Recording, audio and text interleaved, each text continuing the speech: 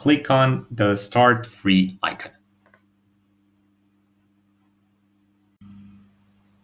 Sign in using your Microsoft or GitHub account if you're not already signed in. Continue by completing the required fields, verifying your identity, inputting your credit card details, and completing the signup. Once complete, a new browser window will open welcoming you to Azure. At any point, you can simply open a new browser window and enter the URL portal.azure.com. And then, after you access it, you just have to log in if you're not already, and you will be taken to your subscription. Great job on completing the first task of this project. You should now have successfully created an Azure subscription and successfully logged into the Microsoft Azure portal.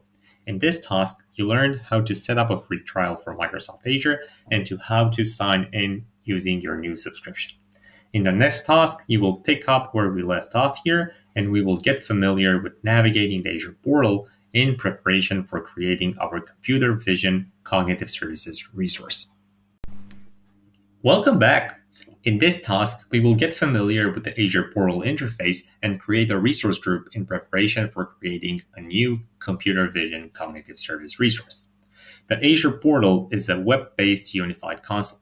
Within the, this console, you can build, manage, and monitor everything from simple web apps to cognitive services or complex cloud deployments. It is worth noting that the graphical interface is not the only way to manage Azure. Command line and scripting can also be used.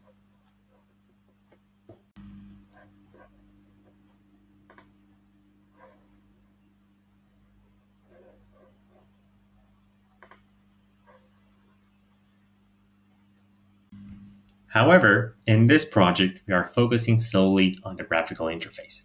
So let's start navigating. Make sure you're logged in and on the homepage.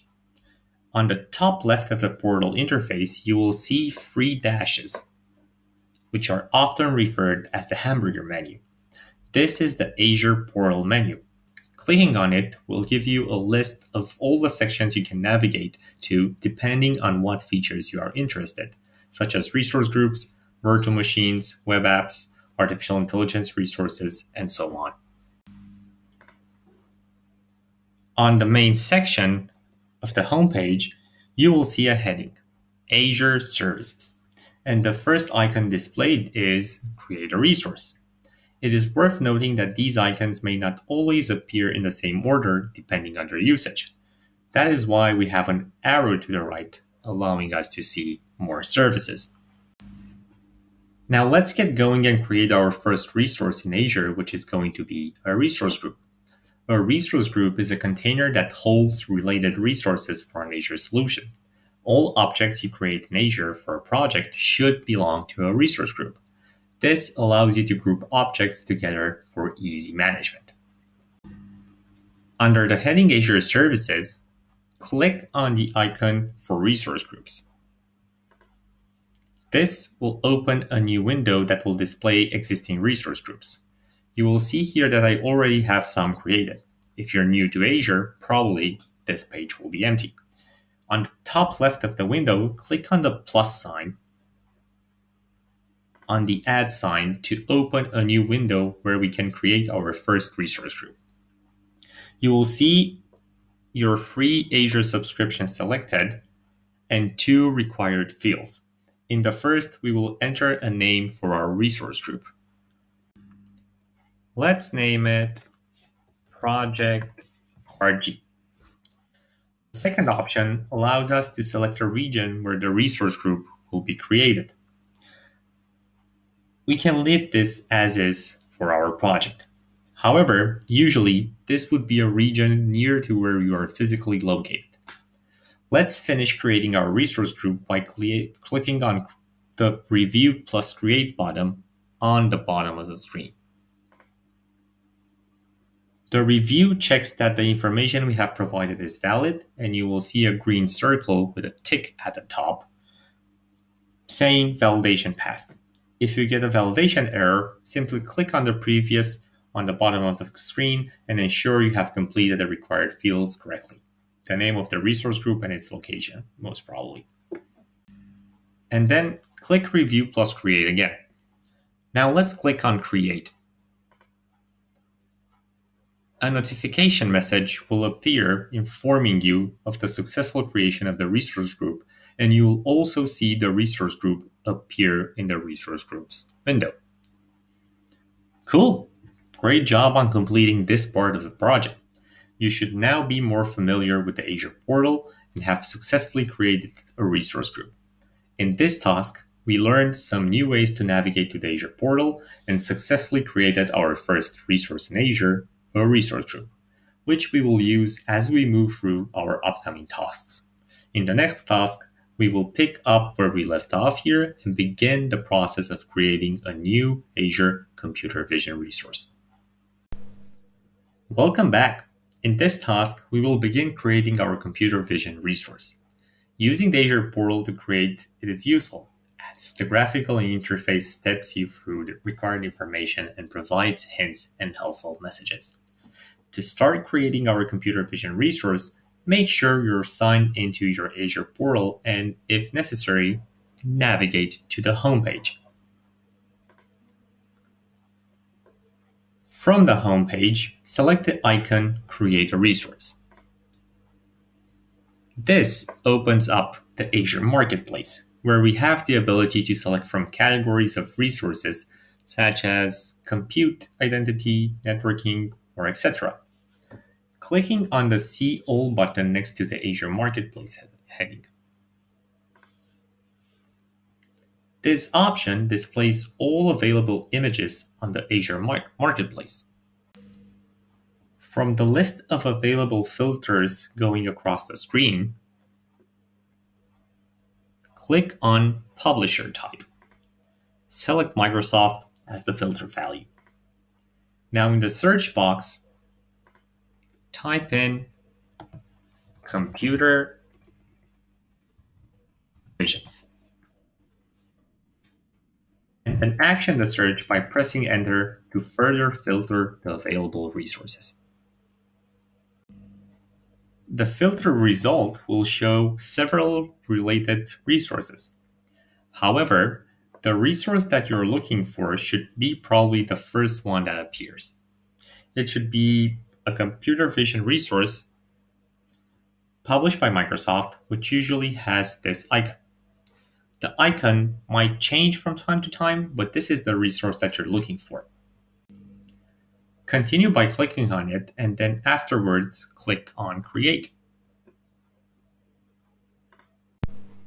You should now notice a series of tabs at the top of the page, beginning with Basics. Selecting Next at the bottom of the screen will take you to the next configurable section. However, you can move between the sections at will with the tabs running across at the top that will identify each section.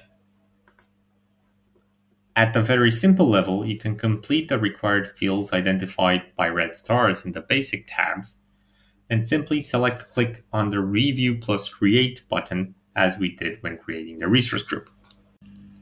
So let's start off with the basic step. The first item we need to complete is the subscription option. Select your subscription if it's not already filled, and in our case, it will be our Visual Studio Enterprise subscription. And probably for you, if you're using a free trial, it will be your free trial subscription. For resource group, you always have the option to create a new group or to use an existing group.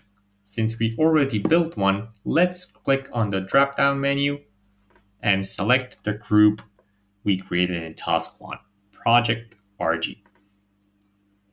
In the region section, you can select a region which is most appropriate for you. For the sake of this demo, we will choose West Europe. In the name section, enter a name for the resource. Keep in mind that this name will define a custom domain name, so be aware that you can only use alphanumeric characters and hyphens. I will name my resource cv-app-demo373. Please keep in mind that these names are unique and this name that I have chosen might not be available. In case this is happening, just change the name to something you prefer, or at least change the numbers that I use at the end of the name. Usually, it's best practice to standardize your resource names so you can easily identify them by purpose. So keep that in mind when creating resources for Azure projects. The next section is related to the pricing tier. For the sake of our demo, we will choose the free tier. But if you want more bandwidth and you plan on creating a resource for production use, you should go on the standard tier. Next thing that we should do is to scroll a bit down and check the checkbox for the responsible AI notice. It's always a good idea to read the documentation for that, so if you want to do it, please pause the video, read it, and we will continue afterwards. For the scope of our project, we can skip directly to the Review plus Create tab. Reason for that is because advanced configurations in our computer vision resource, such as networking or tagging, are not needed at this point in time. But if you want to configure them at some point, you can go on Next, Configure, for example, networking, and then go on Next, put some tags on your resource, and so on. After the validation is successful, clicking on Create will start creating your resource. This usually is pretty fast, taking a few dozen seconds. Once the deployment process is complete, you should see a validation message just as here that your deployment is complete. To see your resource, you can click on Go to Resource here, you will be presented with a computer vision resource that you have just created. Well done! Good job on completing this part of the project.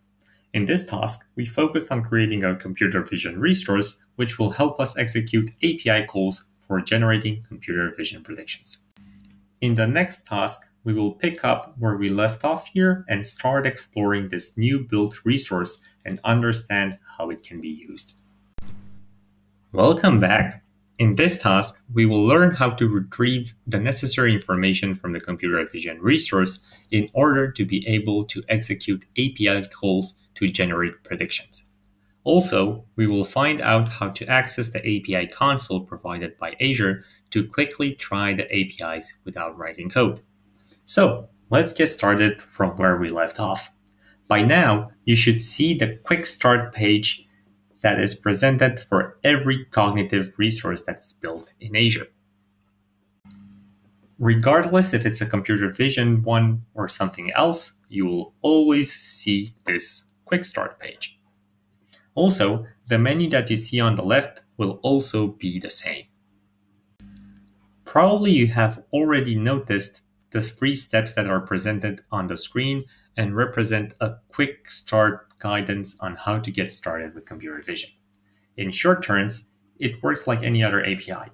A web API call needs to be made towards an endpoint, and that web API call needs to be authenticated with an API key.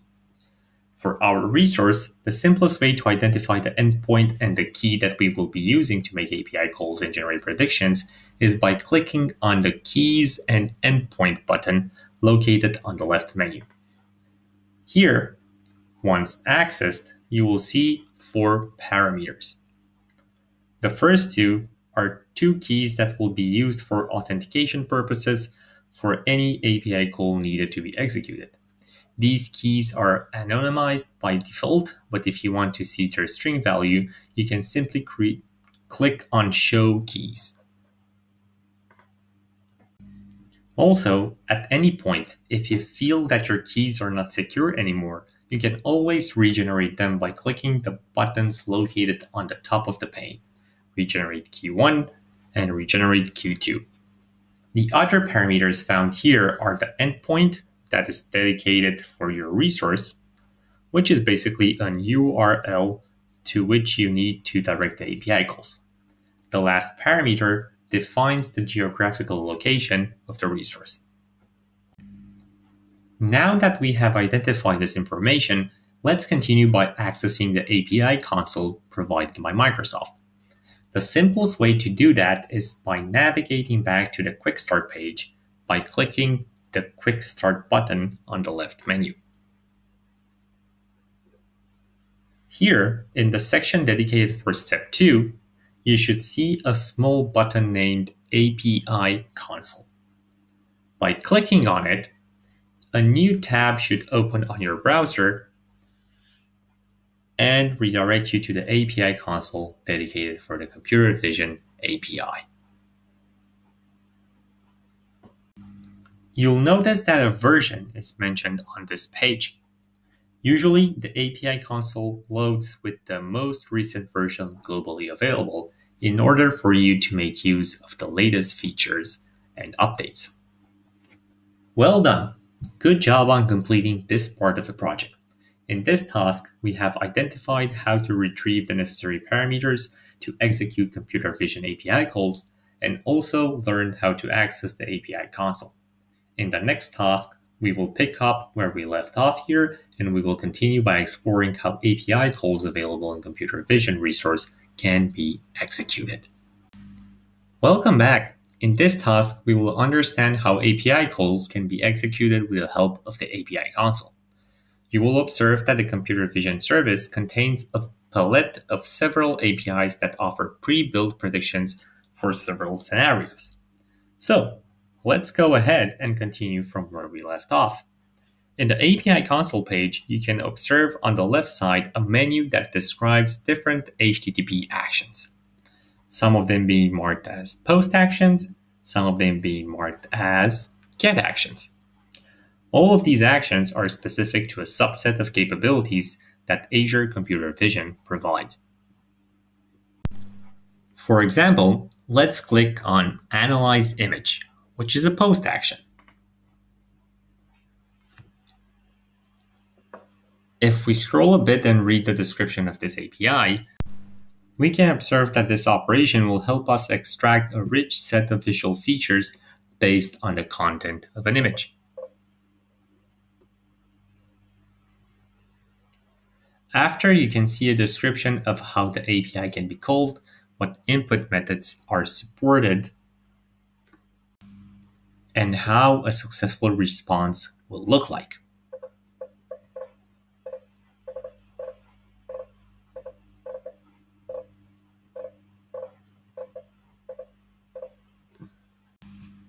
You will see the request URL that needs to be used to perform this action, as well as the requested parameters and requested headers to perform the API call.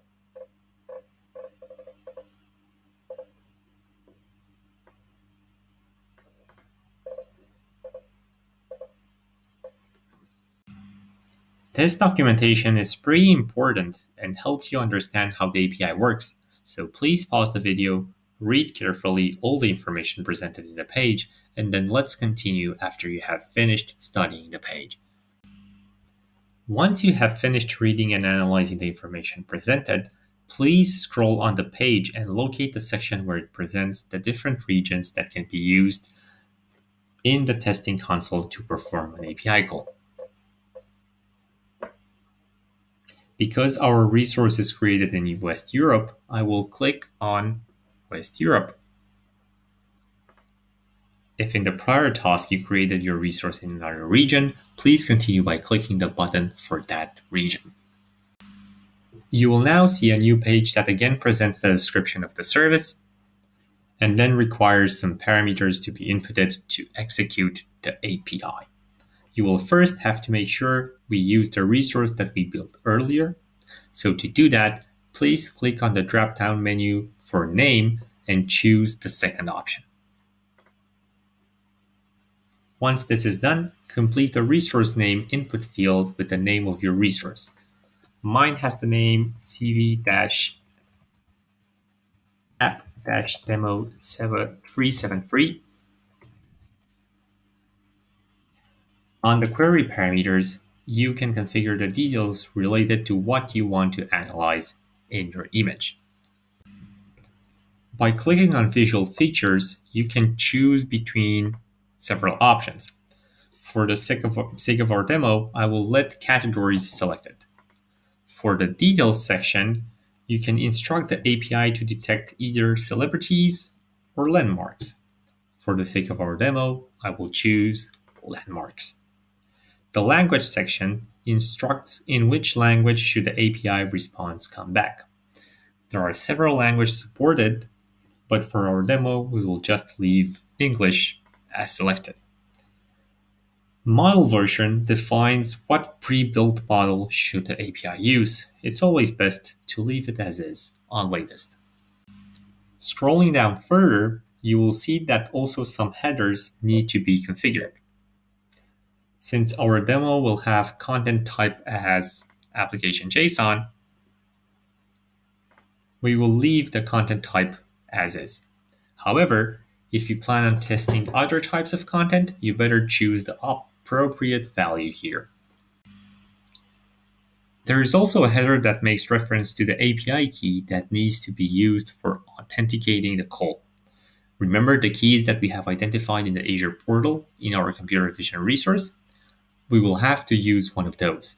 So, in order to do that, change the browser tab to the Azure portal.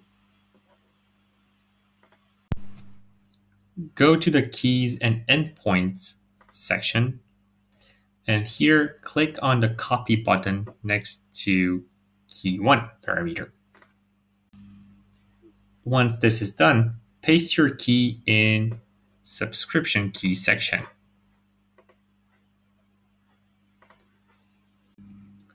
Last but not least, we will need to specify a request body for our API call. Basically, this request body is the content that we want analyzed by our computer vision resource. This can be an image, an URL, a stream, it can be many things depending on how you want to configure your application. For the sake of our demo, we will use an URL which points to an image that we want to analyze. So, to continue, please type into the body JSON the following URL.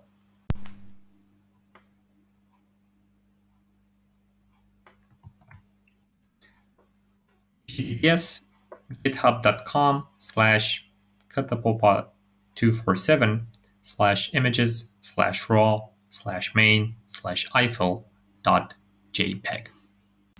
If you access this URL in another browser tab, you will observe that this represents a picture of the Eiffel Tower from France.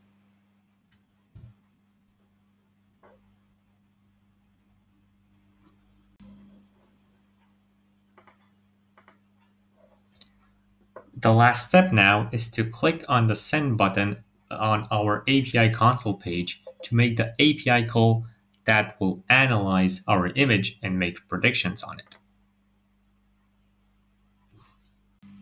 Well done! Good job on completing this part of the project. In this task, we have learned how API calls can be executed via the API console and also went through and discussed all the parameters that can be configured when making a computer vision API call. In the next task, we will pick up where we left off here and we will continue by analyzing the response of the API call to understand how computer vision predictions are structured and what data they contain. Welcome back. In this task, we will analyze the result of the API call that we just made in order to understand the valuable data that the computer vision service is providing. After we clicked send, eh, we should see now a response status right below it. And if it is a successful API, it should return 200 OK. If you receive other responses, especially from the 400 category, it will probably mean that either the authentication key, either the location, or either the name of the resource that you configured as parameters are incorrect, so you'll need to revise those. The response content is the answer that we're looking for. This contains the predictions that the computer vision can offer. The response is structured in a JSON format, and you can see that for our API call, there are two sections that describe the things that we mentioned in our API call as parameters the categories, and the landmarks. As you can see, the computer vision API predicted that the picture which we sent for analysis can be categorized as a picture that represents a building, and it also recognized an important landmark, the Eiffel Tower. Also, I will want you to take a close look at the response. In each of the sections, you will see some parameters that return the confidence of the prediction that has been made. You can see that for categories, the API call is about 94% sure that this picture is with a building on it. While regarding landmarks, it is 99% sure that the picture contains the Eiffel Tower. Our API response also contains some other details about the image that we sent for analysis, like the height and the width, its format, but also the model version that the computer vision API has used for this prediction. Well done! Good job on completing this part of the project. In this task, we analyzed how the response of an API call looks like and learned how we can interpret it to extract the predictions that were made. In the next task, we will pick up where we left off here and we will continue by taking a look at the different variations of APIs available in computer vision and understand which ones are synchronous and which are asynchronous. Welcome back. In this task, we will briefly go through the available APIs in computer vision to have a grasp of what data can be predicted. So, let's continue from where we left off. If you scroll back on the top of the page, you'll observe that on the left side is a menu that describes different HTTP actions, some of them being marked as post actions, some of them being marked as get actions. Each one of these API calls have different roles in performing different predictions. Except for the read API and the recognize domain specific content API, all the other ones work in a synchronous manner. That means that the API request as well as the API response is done in a single go, exactly as we did with the analyze image request that we did earlier. That was a synchronous API request. An asynchronous request means that the prediction is generated in two steps. First, you have to send the request for analysis, and afterwards, you will make a new request to get the predicted data. So, two requests in total instead of one. And for that matter, let's click on the read API, the post action, and let's analyze something. Make sure you select again the correct region. Mine is West Europe. If you look at the description of the service, you'll see that the read API helps extracting text from images and documents. Let's continue by making an API call to see how it works. So, make sure again to set the correct parameters on the host section. Choose from the drop-down the second option for name and then input the name of your resource.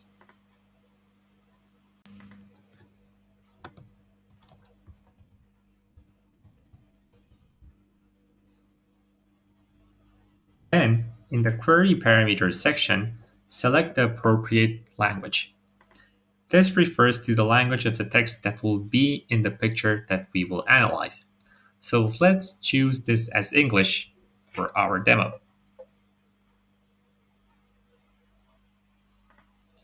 The other parameters, I will want to remove them.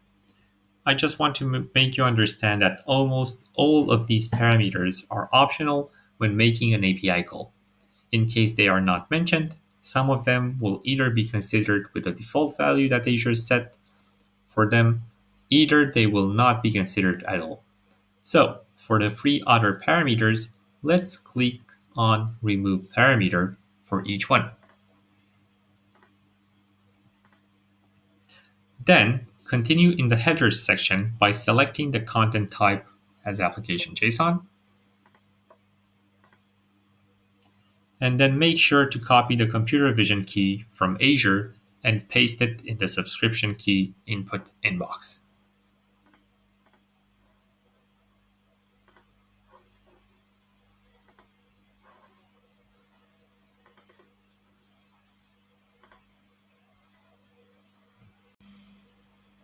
As request body, you will see that it is already pre-populated with a demo URL. We will use this URL for the sake of the demo. But before analyzing the image that is at the URL, please copy the URL and open it in another browser tab just so we are aware of what we will analyze and how the image looks like.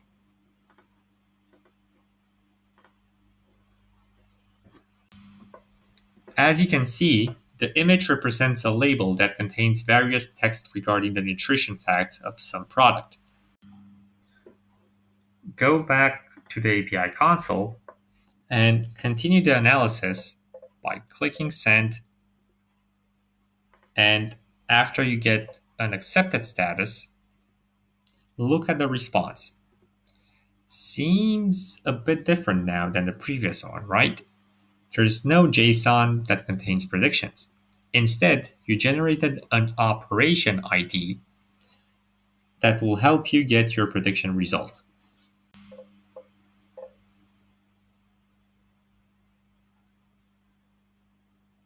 In the operation location section, you will see that the last part represents an ID.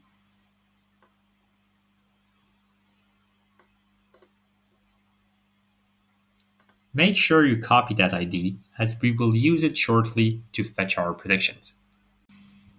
After you copy the ID, scroll back to the top of the page and now click on the Get Read Result action. Then make sure you choose again the correct location. Mine is West Europe. Then make sure you set the correct parameters for the name of the resource, just as we did previously.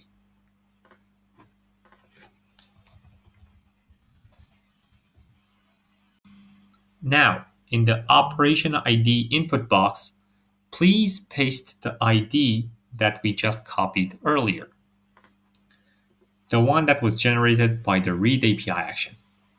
Continue by pasting into the subscription key input box the key of our computer vision resource. Go back to Azure, copy the key, and then paste it here. Now, let's see what the read API offers us as predictions. Click on the send button Soon enough, the response status should be 200 OK. And in the response content, you should see a JSON structure that contains the result we are looking for. You can observe that JSON contains the extracted text from the picture as well as confidence sections for each phrase or even word that was extracted. Also, there is another section for each one of them named bounding box, which pinpoints the location of the word on the image pixel-wise. Well done! Good job on completing this part of the project. In this task, we analyzed how the response of an asynchronous API call looks like and learned what is the difference between asynchronous and synchronous calls. In the next and final task, we will pick up where we left off here and we will continue by understanding the variety of the APIs available in computer vision and how they can be integrated into software applications. Welcome back. Ready for the final step? In this task, we will go a bit through the available API actions of computer vision and also understand how we can integrate these API calls in our applications. So, Let's get right into it from where we left off. By scrolling back at the top of the page, you should already be now familiar with the left menu that specifies the different APIs available. As you've already seen by now, the APIs have different functions. Analyze image helped us identify the category of an image and also recognize landmarks while the read API helped us extract text from images.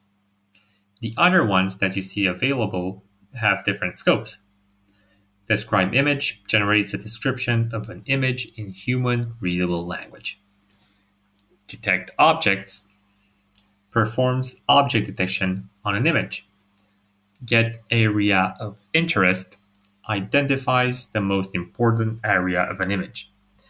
Get thumbnail generates a thumbnail image with a specified width and height. OCR performs text detection, just as Read API, and Tag Image API generates a list of words or tags that are relevant to the analyzed content. The best way to understand how these APIs function and what they do is by simply navigating through each one of them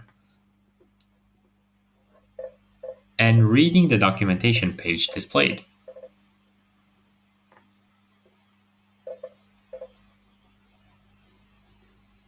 I'll let you do that for a while, so please pause this video and go through each one of the page, read the documentation of each one, and we'll continue shortly. Finished? Great! If you were paying a bit of attention while you were inspecting the documentation pages, you should have seen that at the bottom of each page, there is a section named Code Samples. This section is very useful as it contains examples in several programming languages on how the API call can be performed. You can see here examples in curl, C Sharp, Java, JavaScript, Object-C, PHP, Python, or Ruby. So, no matter what programming language you choose for your application, for sure you can integrate the computer vision APIs into it to generate valuable predictions. This is how you start building computer vision applications by using these snippets of code. Congratulations! You have successfully completed all the tasks within the project. In this project, you learned to sign up for a free Azure trial account, successfully logged into the Azure portal, navigated and created a computer vision resource, and understood how this service can be used by generating predictions through the API console and then understanding how the API calls can be integrated into your software application. As a one last complementary final step, if you want to delete this demo, you can always go back to the Azure portal and delete either the resource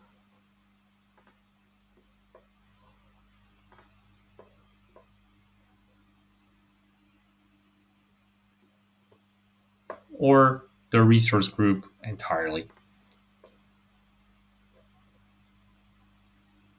However, the computer vision resource generates cost only if you use it. So its existence will not generate cost and you can leave it as is if you want. So, wasn't that fun? Now you can integrate the power of artificial intelligence into your code to create next generation applications.